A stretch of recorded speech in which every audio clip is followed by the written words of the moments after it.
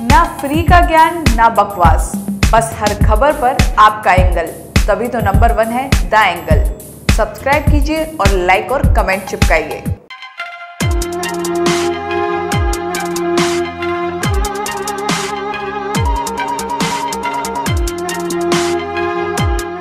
नमस्कार, the angle में आप सभी का स्वागत है। इस वक्त की बड़ी खबरें लेकर मैं हूँ आपके साथ ईदू शर्मा।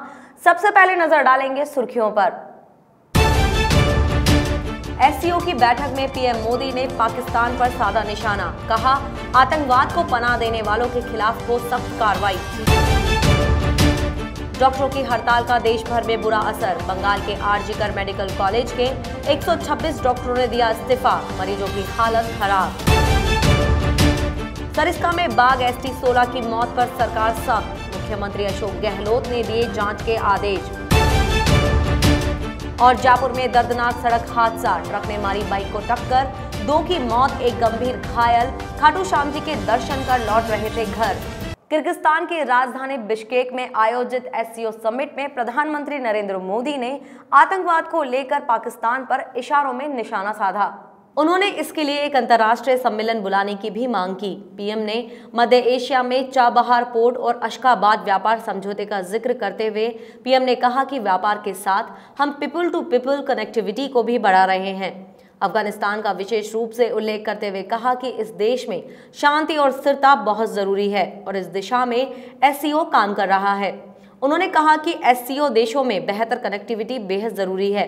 भारत एससीओ सदस्य देशों के बीच आर्थिक विकास के लिए अनुकूल माहौल बनाने के लिए प्रतिबद्ध है। भारत अक्षय ऊर्जा का छठा और सौर ऊर्जा का पांचवा सबसे ज़्यादा उत्पादन करने वाला देश है। टूरिज़्म को बढ़ावा देने के लिए एससीओ देशों के लोगों के लिए हेल्पलाइन शुरू होगी। पश्चिम बंगाल में पिछले चार दिनों से हड़ताल कर रहे जूनियर डॉक्टर्स को देश भर के डॉक्टर्स का साथ मिला है। इसके साथ ही बंगाल के R G Kar medical college and hospital के 126 प्रदर्शन कर रहे डॉक्टरों ने अपना सामूहिक इस्तीफा सौंप दिया है। नॉर्थ बंगाल मेडिकल कॉलेज और अस्पताल के 27 डॉक्टर्स ने भी अपना इस्तीफा दे दिया है। सभी का कहना है कि मौजूदा स्थिति की प्रतिक्रिया के रूप में हम सेवा देने में असमर्थ हैं। हम इस्तीफा देना चाहते हैं। दूसरी तरफ़ डॉक्टर्स के प्रदर्शन और हड़ताल के कारण दिल्ली के एम्स, सफदरजंग समेत देश के कई हिस्सों में अस्पतालों में मरीज़ परेशान दिखे।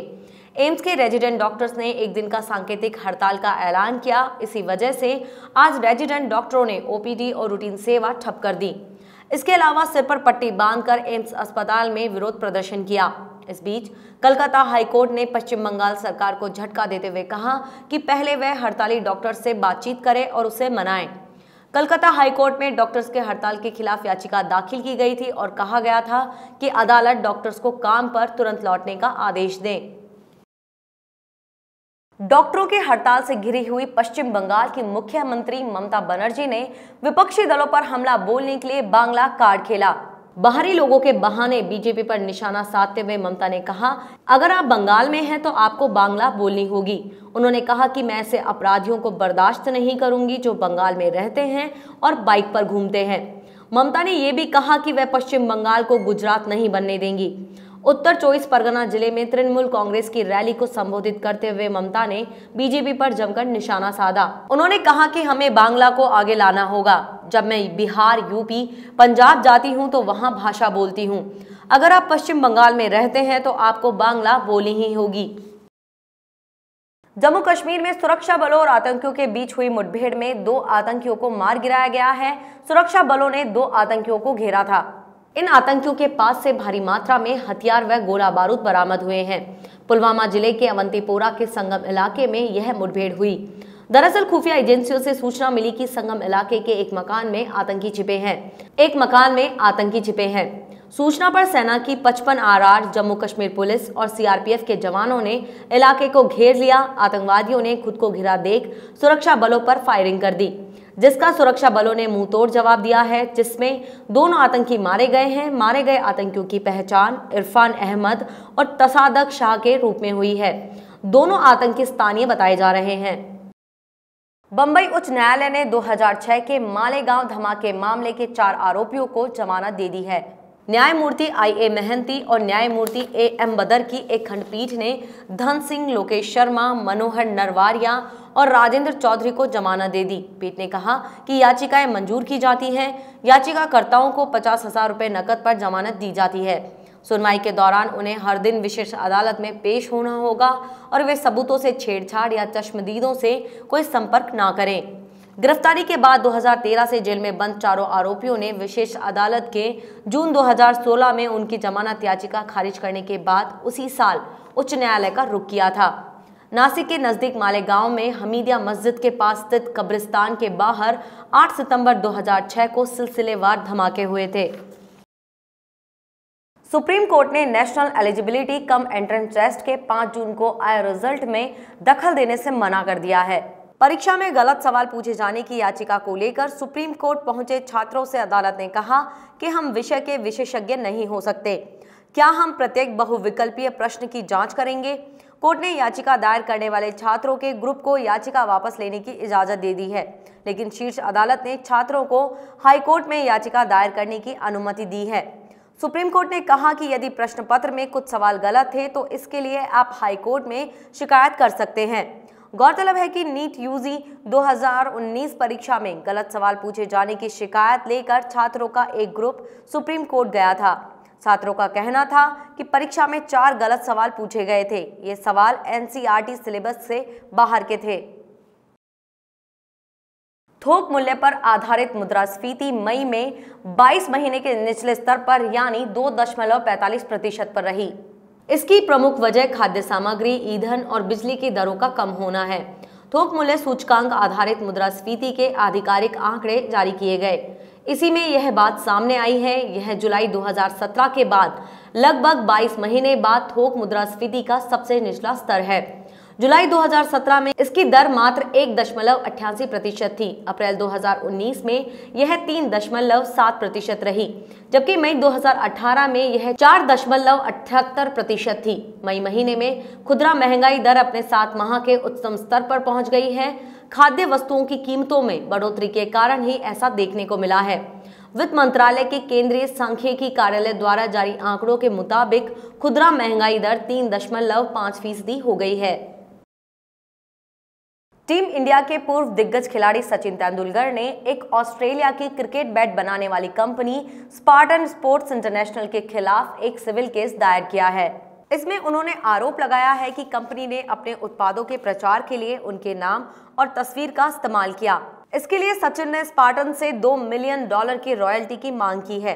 न्यूज़ एजेंसी रॉयटर्स ने दस्तावेजों के हवाले से दावा किया है कि 2016 में सचिन और स्पार्टन के बीच एक समझौता हुआ था। इसके तहत एक साल तक अपने उत्पादों पर सचिन की तस्वीर और लोगो इस्तेमाल करने पर कंपनी को उन्हें एक मिलियन डॉलर चुकाने थे। इस डील के तहत Spartan Sachin by Spartan tagline भी इस्तेमाल कर सकता था।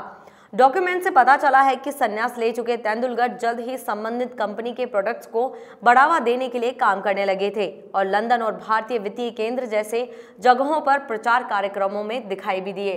राजस्थान सरकार ने 8 जून को सरिस्का टाइगर रिज़र्व में एक बाघ एस टी सोलह की मौत पर प्रशासनिक जाँच के आदेश दिए हैं। मुख्यमंत्री अशोक गहलोत ने उच्च स्तरीय प्रशासनिक जाँच का आदेश देते हुए प्रमुख शासन सचिव सहकारिता अभय कुमार को जाँच अधिकारी नियुक्त किया है। गहलोत ने बाघ की मौत को गंभीरता से लेते हुए अपने निर्देश में कहा कि मामले की जाँच करने और लापरवाह कार्मिकों एवं अधिकारियों की ज़िम्मेदारी तय की जाएगी। मुख्यमंत्री गहलोत ने टाइगर एस टी सोलह की मौत की वजह लापरवाही या जिम्मेदारों की जानकारी के साथ जाँच अधिकारी से सरिस्का बाग परियोजना क्षेत्र में सुरक्षा व्यवस्था को लेकर भी रिपोर्ट तलब की है।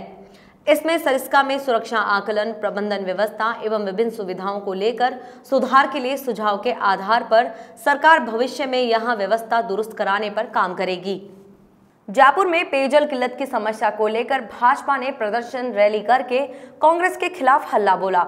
पेयजल समस्या को लेकर पूर्व मंत्री अरुण चतुर्वेदी, भाजपा जयपुर शहर अध्यक्ष मोहनलाल गुप्ता, जयपुर सांसद रामचरण बोहरा सहित भाजपा नेता और कार्यकर्ताओं ने जल भवन पर धरना प्रदर्शन किया।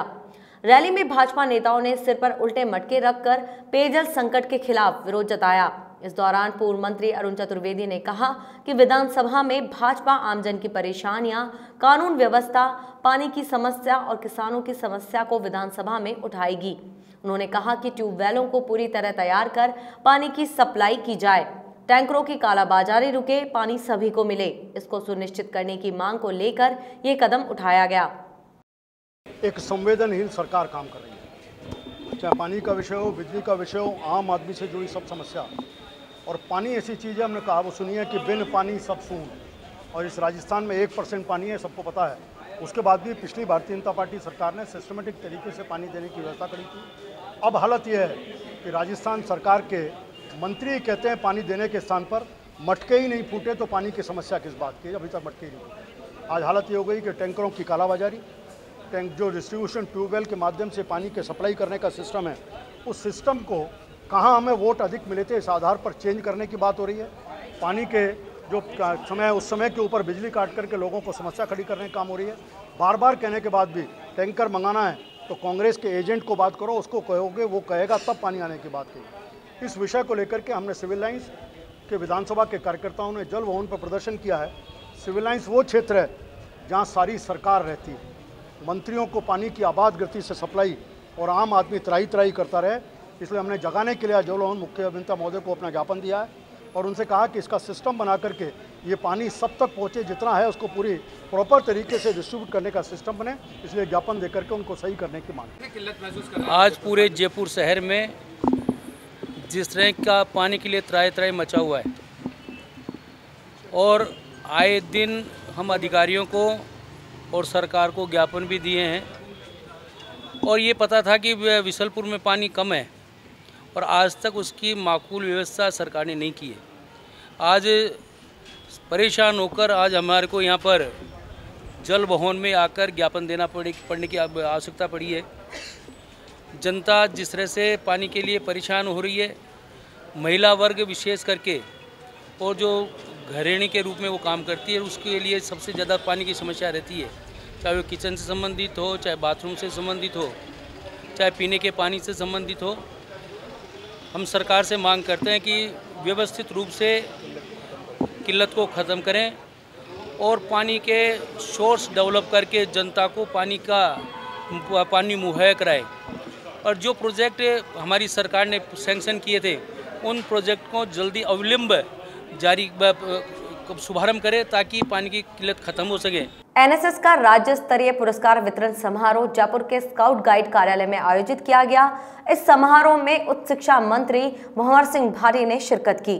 कार्यक्रम में दो महाविद्यालय, छह कार्यक्रम अधिकारी 11 स्वयं सेवकों और आरडी परेड के 10 स्वयं सेवकों को पुरस्कृत किया गया। इस दौरान मंत्री भाटी ने राजकीय महाविद्यालय जयपुर के बधिर विद्यार्थियों के लिए भी एनएसएस की अलग यूनिट शुरू करने की घोषणा की। साथ ही मंत्री भंवर सिंह भाटी ने एनएसएस कार्यकर्ताओं को बरसात में ज़्यादा से ज़्यादा पौधारोपण करने और रक्तदान करने की अपील की। उन्होंने एनएसएस के सामाजिक कार्यों में सक्रियता पर तारीफ़ भी की समारोह में उच्च शिक्षा सचिव वैभव गालरिया समेत एनएसएस से जुड़े लोग मौजूद रहे। आज एनएसएस का प्रदेश स्तरीय सम्मान समारोह रखा गया।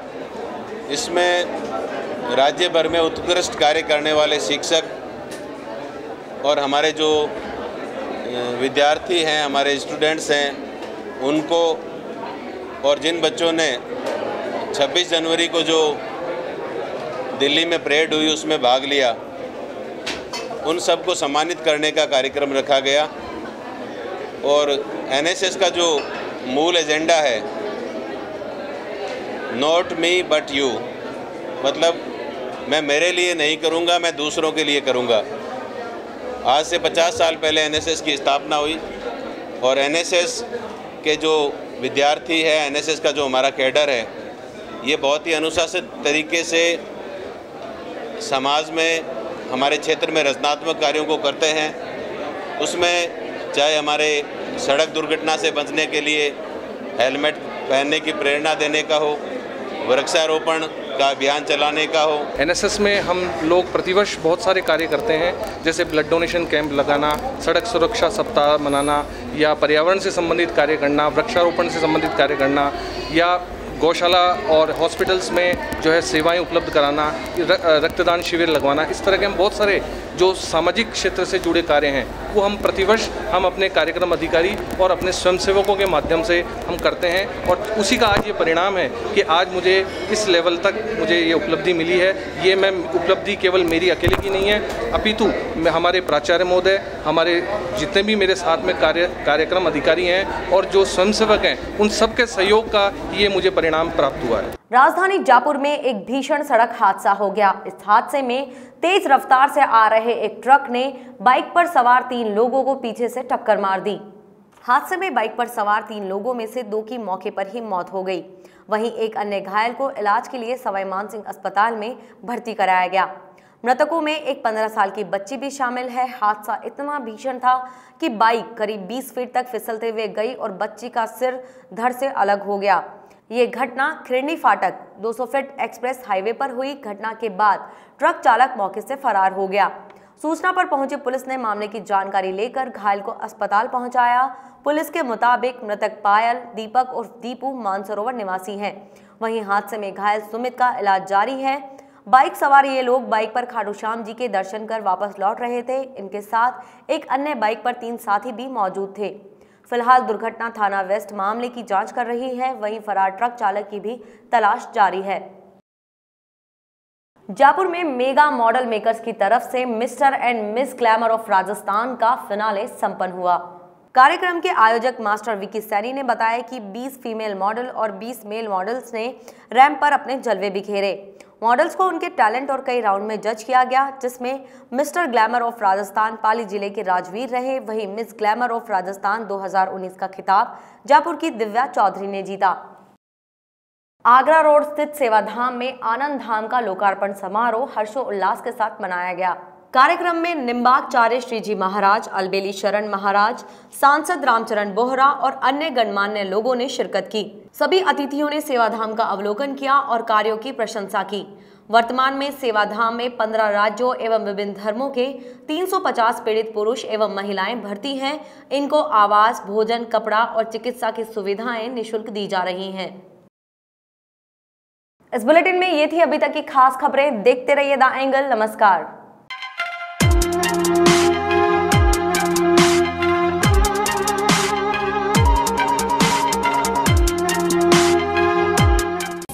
फ्री का ज्ञान, ना बकवास। बस हर खबर पर आपका एंगल तभी तो नंबर वन है, द एंगल सब्सक्राइब कीजिए और लाइक और कमेंट चिपकाइए।